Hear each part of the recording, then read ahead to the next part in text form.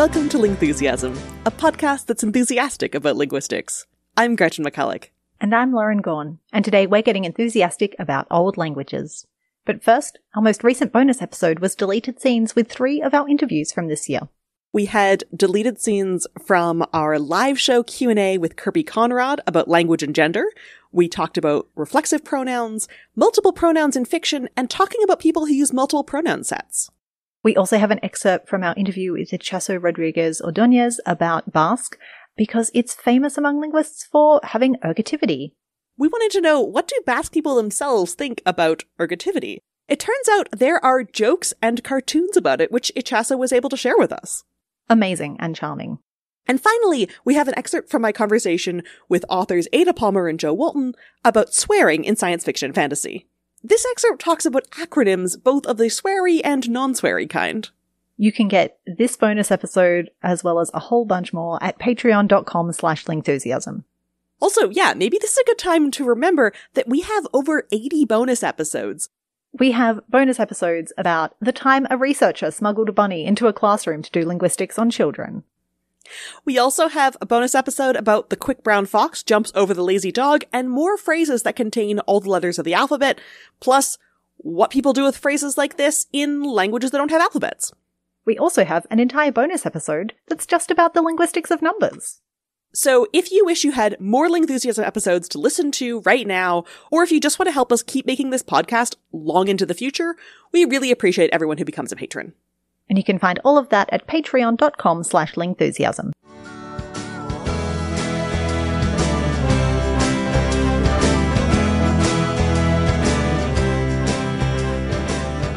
Hey Lauren, I've got big news. Yeah? Did you know I'm from the oldest family lineage in the world? Wow. You sound like you are part of some prestigious, ancient, royal, I can only assume royal, with that level of knowledge about your family lineage. Well, you know, like I have some family members who are really into genealogy. I've been looking at some family trees and I have come to the conclusion that my family is the oldest family in the world. Mm, you know, I have grandparents and they have grandparents and I assume they had grandparents, and I, I guess my family goes all the way back as well. We didn't come out of nowhere. I might not know all their names, and I don't think we were ever rulers of any nation state as far as I'm aware. But, uh, I, I don't know if you are from the oldest family lineage, because I think everyone is. Well, this is not a mutually exclusive statement. I can be from the oldest family lineage, and you can be from the oldest family lineage, and everyone listening to this podcast can be all from the oldest family lineage in the world because we're all descended from the earliest humans. This is a good point. Psych. And I think it's definitely worth remembering the difference between the very fact that we are all from the same humans and the difference between that and knowing names of specific individuals back to a certain point. And I should clarify, I am not royalty. I do not actually know the names all the way back because at a certain point, writing stops existing, and at some point before that, people stopped recording my ancestors, and I don't know when it stops. But there's definitely a tradition in like certain royal families and stuff of being able to claim that you can trace your family back to, you know, maybe like Apollo or something. Oh gosh, like mythical characters. Okay, yeah, I was thinking of just like tracing them back a thousand years, but I, I guess tracing them back to Adam and Eve, or tracing them back to you know like Helen of Troy or Apollo or these sorts of things. I, I feel like at least I, I've heard of this, and I think that talking about human ancestral lineages helps us make sense of the types of claims that people also make about languages being the oldest language. Hmm. I feel like I've heard this before, different languages making claim to being the oldest language. I've heard it quite a lot. I did a bit of research and I looked up a list of some languages that people have claimed to be the oldest. Okay. What did you find? A lot of things that can't all be true at the same time. Or can all be true because all languages are descended from some early human capacity for human language. right. So there's sort of different geographical hotspots. Mm-hmm. You know, people making claims about Egyptian, about Sanskrit, Greek, Chinese, Aramaic, Farsi, Tamil, Korean, Basque. Speaking of Basque episodes. Oh, yeah. Sometimes people look at reconstructed languages like Proto Indo European, which is, you know, the old thing that the modern day Indo European languages are descended from. Mm-hmm. But part of the issue here is that at least for spoken languages, and we're going to get to sign languages. Yeah. But at least for spoken languages, like babies can't raise themselves. Unfortunately, I personally have to say. After the last Deeply inconveniently Yeah. for adult sleep schedules. So if you have a baby with typical hearing and they're being raised in a, you know, community or even by one person, hmm they're going to acquire language from the people that are raising it. Absolutely. And yeah, in much the same way we all have people giving us genetic input, we also have people giving us linguistic input and uh, continuing on that transmission of human language. Right, exactly. And so when a language is claimed to be old, that's often more of sort of a political claim or a religious claim or a heritage claim Mhm. than it is a linguistic claim because we think that languages probably have a common ancestor. Certainly all languages are learnable by all humans. If you raise a baby in a given environment, they'll grow up with the language that's around them. So the human capacity for language seems to be common across all of us. And we just don't know what that tens of thousands year old early languages looked like. In much the same way we lose track of earlier ancestors when we get earlier than written records. There's also, we talked about this in the reconstructing old languages episode, that there's just a point where you can't go back further because there's just not enough information to say exactly how Proto-Indo-European might have at some earlier point been related to, say, the Sino-Tibetan languages or the Niger-Congo family. Right. And, you know, we also talked about this in the writing systems episode where writing systems have been invented, you know, about 4,000, 5,000, 600,000 years ago, but human language probably emerged sometime between 50,000 and 150,000 years ago, which is so much older. That's Yeah. like 10 times to 30 times older than that. And we don't know because sounds and signs leave impressions on the airwaves that vanish very quickly and don't leave fossils until writing starts being developed much later. Very inconvenient. Yeah. Absolutely the first thing I would do with a time machine. all of those languages that you mentioned as people laying claim to them being the oldest, they come from all kinds of different language families. Although I have to say, a very like Indo-European Western skew there, which probably reflects the corners of the internet that you have access to. Right. So this reflects the people that are making claims like this on the English speaking internet that I'm looking at Mm-hmm. and the sort of modern day nation states and religious traditions and cultural traditions that are making claims to certain types of legitimacy via having access to old texts or having access to uninterrupted transmission of stories and legends and mythologies that give them those sorts of claims. There's no reason to think that, you know, a whole bunch of languages on the, you know, North and South American continents are not also equally old as all the other languages, but people aren't doing nation state building with them, and so they don't tend to show up on those lists. Yeah. A lot of nation state building, a lot of like religion happening there as well. Yeah. I think about how, you know, yoga is, look, I love a bit of yoga and I think it's really lovely that all the yoga terms are still given to you in this kind of older Sanskritic language, but it definitely is done sometimes with this like claim to legitimacy and kind of prestige in the same way that, you know, having something in Latin for the Catholic Church gives that same kind of vibe. I think about this scene from the movie My Big Fat Greek Wedding, Uh huh. Where you have the daughter who's the one that's that's getting married and she's in the car as a teen with her parents and it's this sort of scene where the parents are being a bit cringy in the way that, you know, teens often experience their parents to be. Mm-hmm. And the dad is saying, you know, name a word. I will tell you how it comes from Greek because he's got this big Greek pride thing going. And this is a like classic Greek American migrant pride happening. Right. And so he says arachnophobia and he's explaining, you know, how the roots come from Greek and that one's true. And then the daughter's friend who's in the back seat is sort of rolling her eyes and saying, well, what about kimono? Uh, kimono, the Japanese robe. Yes. Mm-hmm. And the dad's like, oh no, it's from Greek. Here's this connection that I have found. I like his linguistic ad libbing skills. Right. It's certainly a great improvisational performance skills, and the movie is clearly designed to put the viewer in sympathy with the young girls in the back seat who are sort Mhm. of teasing him and the daughter sort of face palming, you know, at this claim, which is one of the reasons why it's like one of my favorite examples of people making up fake etymologies in media because Mhm. you don't leave the movie thinking, oh, I never realized Komodo was from Greek. You leave that movie being like, Like- ah, here's this dad who has sort of over exaggerated pride in his heritage that doesn't allow for other people's heritage to also have, you know, words that come from them. Yeah. But it's a claim that he's making for, you know, personal reasons and for heritage reasons that doesn't have linguistic founding, but none of these claims have linguistic founding. The dad has come kind of close to a linguistic truth, though, which is that linguists talk about languages having features that can be either conservative or innovative.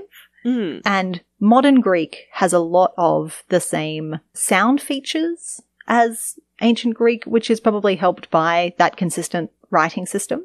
A writing system definitely helps transmission stay stable because you can point back to older texts. English has probably slowed down a lot in its change because of the writing system as well.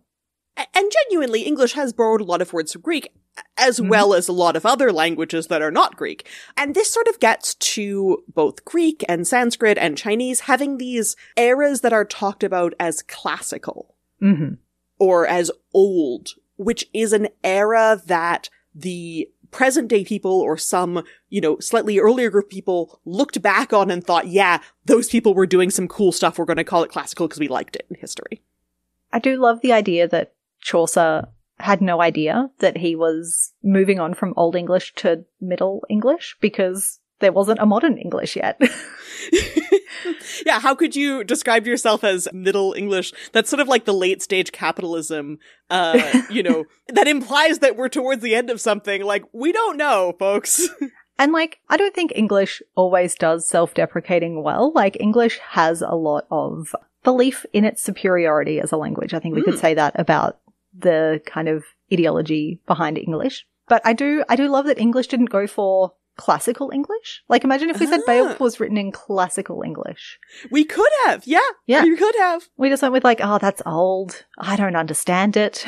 it's got cases. It's got all these extra affixes. I don't- it's old. It's a bit stuffy.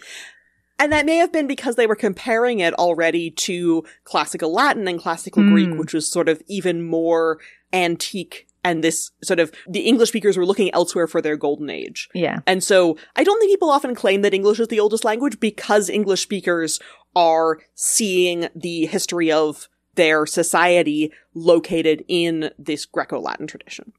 Yeah. I think that's a good explanation for it. I do wonder if like maybe, you know, the attitudes that we now have towards like Shakespearean English, if maybe that will become like classical English when we're a bit further on and Shakespeare becomes even less accessible.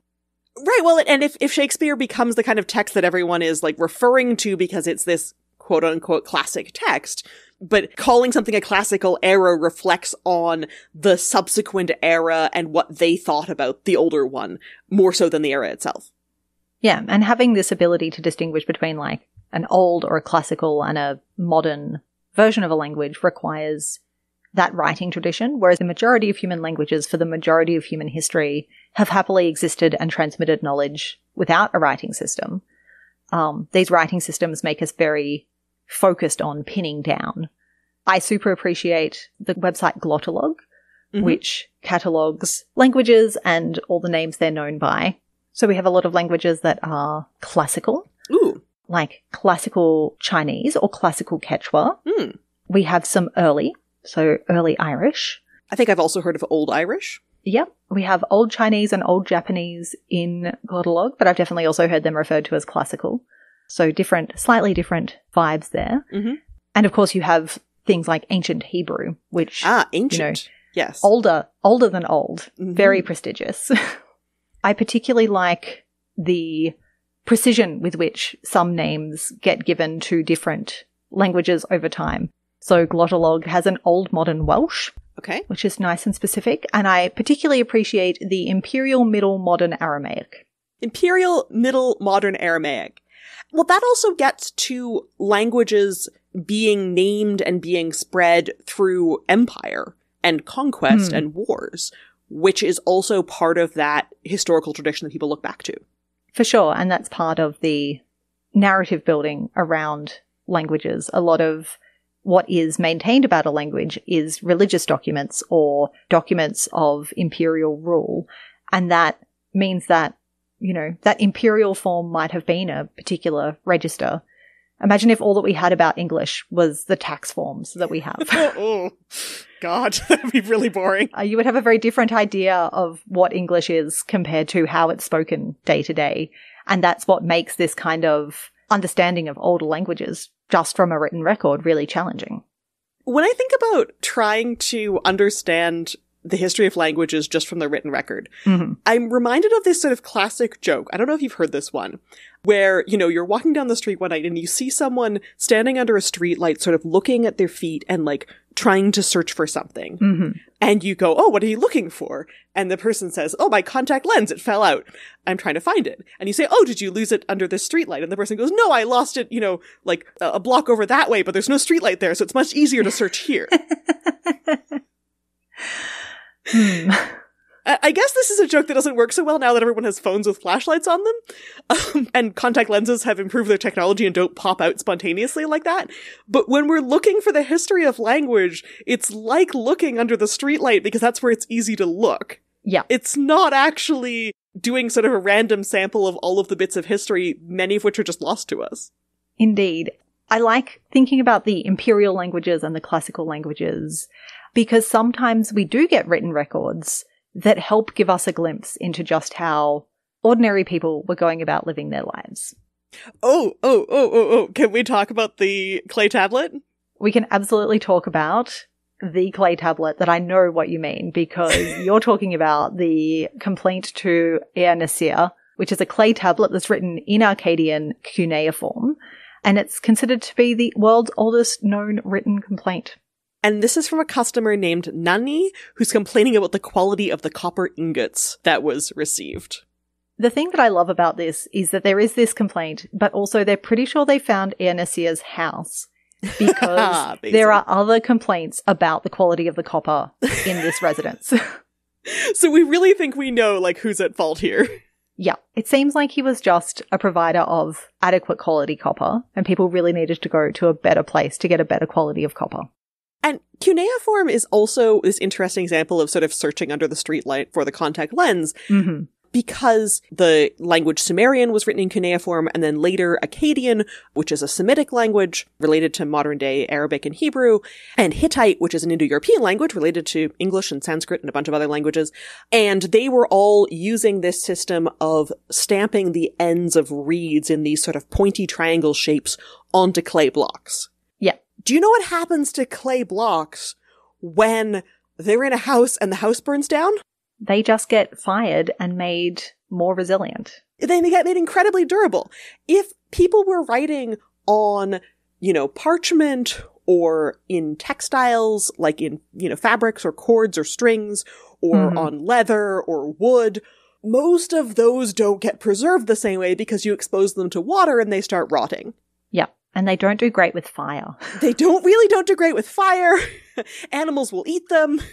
Clay has none of these problems. So Yeah. we don't even know if we know what all of the ancient writing systems are because the ones that have survived are the ones on clay or stone. I was so charmed when I learnt about Latin curse tablets, which are very mm. similar to the complaints to Ea-nasir. These are small bits of lead that people could scratch a curse or a wish onto, and then they would throw them into some kind of sacred water. They found like 130 of these at Bath in Britain, but they appear to have popped up all over the Roman Empire. And it's just like these tiny insights into the pettiness of humanity as opposed to the kind of great works of literature or we've talked about how the Rosetta Stone was in these like three official languages and was all about like a declaration about taxation. But instead, you can have this like curses on Gaius because he stole my dog sort of thing. I have given to the goddess Sulis the six silver coins which I have lost. It is for the goddess to extract them from the names written below. And then just like Oh. lists people who owe this person cash. Oh. Yep. That's petty. I like it. Yeah. So annoyed.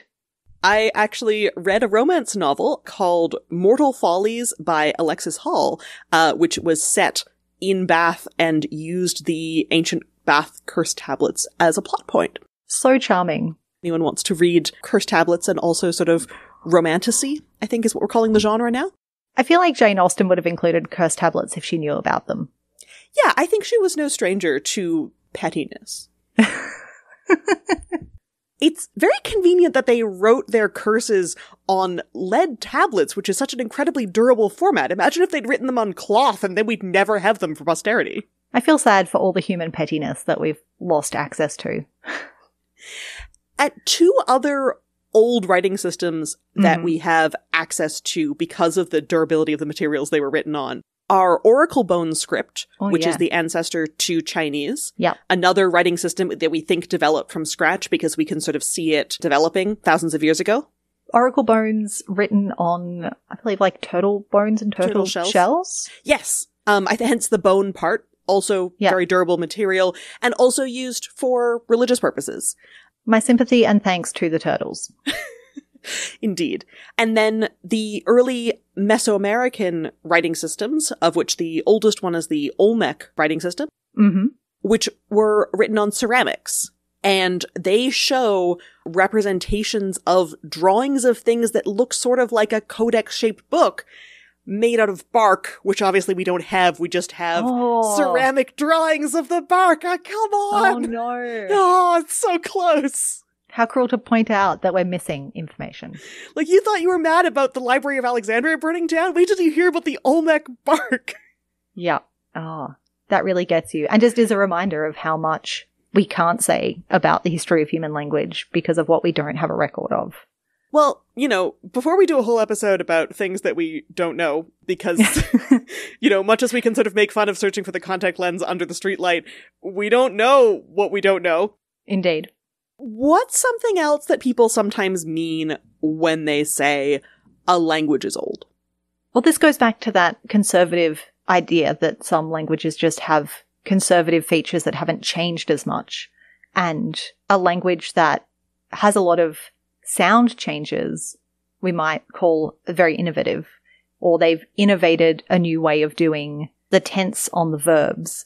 And so you can trace it back to an older form of the language, but it looks very different at this point in time. So I think the example that I'm most familiar with this is Icelandic versus English. So in the last thousand years or so, English has had a lot of contact from things like the Norman Conquest, which introduced a lot of French words to English, compared to Icelandic, which has had less of that. hmm So Icelanders have an easier time reading something like their sagas, which are 800 and more years old, than English speakers have reading texts like Chaucer, which are about the same age but have had a lot more linguistic changes happening because of more contact in English over the years.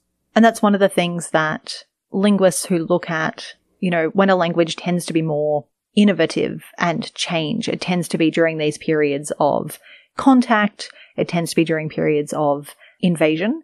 And English, you know, had the French come up from the south, repeated Viking incursions from all around the coast, and they all had an impact on the language. And I find it really interesting, you know, Icelanders are really proud of how conservative the language is and that they still can read these older stories. And I think, you know, in some ways, English has created the story for itself where it's really proud of the fact that it is this language that continues to take influences from places and is really innovative. You know, these are just part of the story that a language can tell about itself and the speakers can tell about it. Right. And I think that there are reasons to be proud of any language that don't have to rely on age as the sole arbiter of legitimacy. Hmm. And in some cases, it's that rupture with the past that people use as a point of pride. I'm thinking of Haitian Creole, for example, Mhm. which is descended from French. And you can sort of hear that French influence. Like when I've heard people speaking Haitian Creole, it almost sounds like they're speaking just like a French dialect that I don't quite know. Right. Okay. But the writing system is very different and it's much more phonetic than French is. So the word for me in Haitian Creole is moi, and it's written MWA. And the word for me in modern French is moi, pronounced the same way, but written MOI. Right. And it used to be pronounced Moy. This is why you get like Roy and Roi for king and stuff like this, hence the spelling. But the sound change has happened in French. And when the Haitian speakers were deciding how to write their language down, they were like, no, we're going to have a phonetic system. We don't need to be beholden to the French system. We're going to have something that establishes our identity as something that's distinct from French. For anyone who's tried to learn their French spelling, especially those endings that are still in the writing system but not in the pronunciation system. I think it's fair to say French has gone through a number of sound innovations, even if it might be more conservative in other features of the grammar. It's very conservative in the writing system, but the sounds have changed a lot. Yeah. It's interesting you bring up Haitian Creole because Creoles are the result of this intense contact between two or more languages and they often get labeled as being new, which is kind of the flip side of this discourse around old languages. Yeah. And that's sort of controversial in linguistics, whether to consider Creoles new mm-hmm. or, or to consider them older. What they definitely have is, you know, children being raised by people who also already had some amount of language and, you know, babies can't raise themselves. But they do have this situation where their speakers were prevented from learning how to read and write or learning how to access the formal varieties of the language. Mm-hmm. Often very violently and through horrible circumstances. A lot of Creoles came about because of slave trade, because of, you know, historical systems of oppression. So the language transmission was not the same as if you were learning it from parents who'd been educated in the language but they were still learning from people who had access to the language. And so there's been a bit of a swing in Creole studies more recently to say, what if we don't consider these completely new? What if we think about the ancestral features that they have in common with the languages they're descended from, which you can readily trace as well? And thinking in terms of like which features are innovative rather than the whole language is being new. Like maybe it has a very innovative way of doing like the noun structure but it still has a lot of the features of the two different or multiple different languages in terms of sounds. And so taking apart the different linguistic elements and not just focusing on the whole thing as being new or old and trying to apply these labels that don't actually account for what's happening. Right. And it can be kind of exoticizing to Creoles to say, oh, these are completely different from all of the other ways that languages have gotten transmitted when what's also going on is kids in a community who are exposed to a bunch of languages or a bunch of different linguistic inputs at a time kind of making sense of that and coming up with collaboratively something with the other kids in the community that is different from what people were speaking before, but it still has that ancestral link. There are contexts in which children are raised without that access to language transmission. And that is when a deaf child is born into a hearing and spoken language family context, which means that they're not getting that language. Right. And generally the child and the, the parents and the family and, you know, community members do end up with some amount of ways of communicating, sort of based on the existing gestures that people do alongside of spoken language and elaborating on them, making them more complex because you are trying to communicate somehow. Um, there are linguists who study this, right? Yeah. I mean, ideally, in an ideal world, if you're a deaf child, you would want to have access to signed language input through ideally your family, but also like your wider educational context. Some deaf children do get hearing aids. They are useful, but not a perfect replication of the hearing child experience. And so that's a possibility. But there are some contexts where children have just develop this communication system with their hearing family in their own home context. And these are known as home sign. And there have been examples of this and they have been studied. One of the most famous examples that has been described in a lot of detail is the example of David and his family. And Susan Goldin-Meadow and her collaborators over the years have done a lot of work looking at the way David and especially his mother communicate with each other. This is a really tough situation. And I think these studies started in like the early 90s, and hopefully people know better now and can give their deaf kids access to a sign language. But given that this happened, what can we learn from the situation? Goldin-Meadow definitely started publishing about this in the early 80s. Okay. So even earlier. David, who I will forever think of as like a seven to 10 year old child, is actually like a Gen Xer who, if he had kids himself, they're like undergraduates. Okay, okay. Yeah, it's good to put like famous children from studies in perspective. Yeah, because they are, you know, it's like the Shirley Temple phenomenon, right? Yeah. David, in my mind, is always just this kid who's learning to communicate with his mom, but he's a fully grown tax-paying adult now. Okay. Uh, and what was he doing when he was communicating with his mum in this, you know, immortalized in amber childhood years? What was really interesting from a, you know, thinking about this human capacity for language and communication perspective is that his mother and the family kind of developed this way of communicating with him that kind of grew out of their typical gestures and kind of context, a lot of, you know, showing each other stuff. Like pointing to things and so on? Oh, pointing, so useful in all languages and all contexts. But what they found was that David was creating systematic order out of the gestures that he was getting. So he had more systematic structure in terms of the hand shape that he was using. He created Mm. these kind of hand shape structures and these individual signs that his mum would also use, but not as consistently as him. So Hmm. it's actually the child taking this really idiosyncratic, raw gesture material from his mum.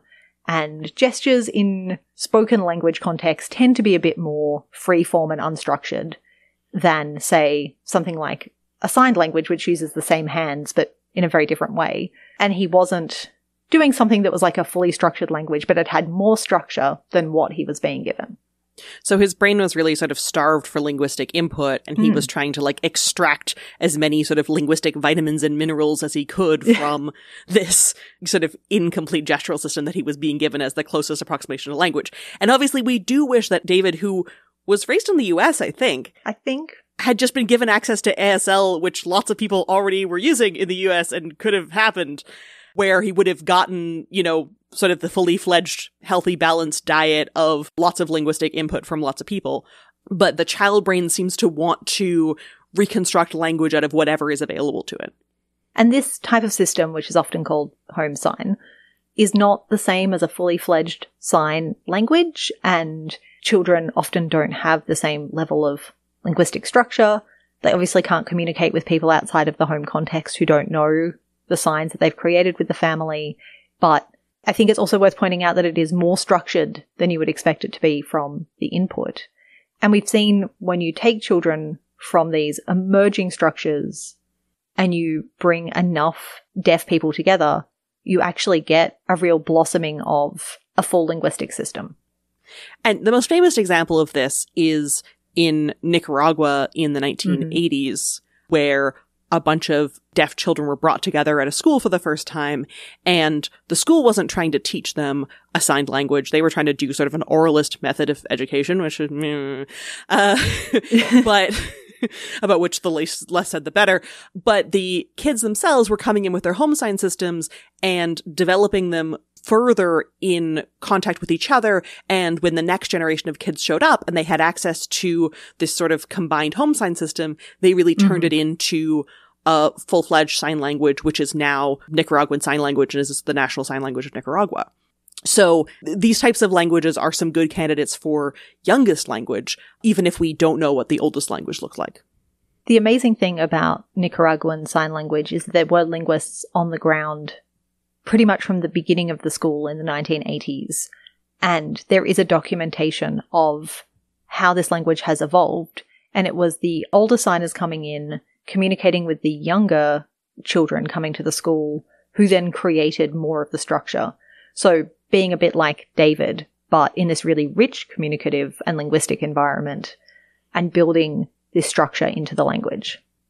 So it seems to sort of take those two generations of linguistic input, but that feels very reassuring to me, which is that language is so robust that even if we lose all of our writing systems and we lose all of our memory of writing systems and we lose uh, access to memory of, of what language looks like, suddenly we all wake up with amnesia or something. we would rediscover this, uh, even though they wouldn't be the same languages. We'd put something back together and still be able to talk to each other. And we know this because Nicaraguan Sign Language is not the only example we have of a recently developed language that has emerged. Nicaraguan Sign Language is a school based sign, Mhm. but we also have what are known as village based sign systems, which is where there might be a deaf family or a number of deaf families in the village or a very high percentage of deaf population and a sign language emerges that the whole village, deaf and hearing, use to communicate. And it's usually village because it is these smaller communities where people gather and live together and have to communicate with each other all the time. and where it's if you have like an island or a you know somewhere in a in the mountains or somewhere where there's a high degree of genetic deafness because there's a relatively high degree of isolation and so you can have like a third of the village be deaf in which case everybody in that village is learning signs from each other at a young age i think the famous example of that that i've heard of relatively nearby is martha's vineyard in the us Oh yeah. which is an island i think and it has a village sign language Lynn Hou talked about Al-Sayyid Bedouin Sign Language in the interview she did with us, which is in a tribal group in a desert in southern Israel. And there's also Kata Kolok, which is also known as Bengkala Sign Language or Balinese Sign Language, Mhm. which is a village sign language indigenous to two neighboring villages in northern Bali, Indonesia. Similar sort of situations there. And so we see this robustness of language and these young languages, but building on this underlying human tendency to want to create linguistic structure when you bring enough people who can communicate together. A really interesting example that I've encountered recently of what it's like to sort of suddenly have at least access in terms of format or modality to language, even if you don't know what everything means yet, Mm-hmm. is in the book True Biz by Sara Novic. Oh, yeah. which is set at a school for the deaf. And one of the main characters is a deaf girl whose cochlear implants have been malfunctioning. And so she hasn't been raised with access to a sign language, but suddenly she's in this school now and is learning ASL and trying to get her cochlear implants to still work. But in the meantime is suddenly immersed in this environment where she has full access to language instead of this sort of piecemeal access via attempting to lip read or attempting to use these implants that haven't been working very well for her. The author is deaf and talks about a variety of different types of experiences that people can have in that context. I really appreciated how this book made the most of the written format to occasionally just not give you what another character was saying. And so you get this experience of being the young protagonist in the book, suddenly like, I'm only getting half of this sentence. I don't know what's happening. It's very stressful. Because there's just a bunch of blank spaces. And there were also some places where there were drawings of words that were being talked about or sort of worksheets that she was seeing uh, with line diagrams of different signs. So, you know, despite the fact that it's sort of a book that's in written English trying to convey ASL, which is not English and doesn't have a standard way of being written, I think it's doing a really interesting job of trying to convey that experience. And that lack of writing system for signed languages means that a lot of the history of signing in human language history has kind of been lost to us. And there have been different signing communities at different times in history. It's probably been a very common way of humans doing language, but we just don't know because it's not in the street light of the written record. Right. And we don't even know if the first language, the oldest language, was a spoken language or a sign language. People have come up with arguments for both things, and we just don't know. Which in some ways I find very relaxing. Hmm. instead of kind of constantly trying to make cases for which language is the oldest or which is the newest, you can kind of just let go of those debates because they are all, at the end of the day, unprovable and you can just enjoy the variety of human language without it being a competition. Yeah, like a language doesn't have to be the oldest language or even the newest language in order to be cool. Languages are great. All languages are interesting and valid, and people should have the right to have access to them when they want them. And by listening to this episode, you're participating in part of that chain of human language transmission that stretches beyond anyone's written record or recorded record or video record. You're still part of it.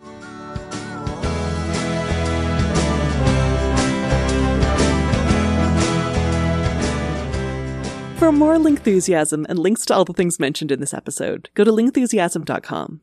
You can listen to us on all of the podcast platforms or at lingthusiasm.com. You can get transcripts of every episode at lingthusiasm.com slash transcripts. You can follow at Lingthusiasm on all of the social media sites.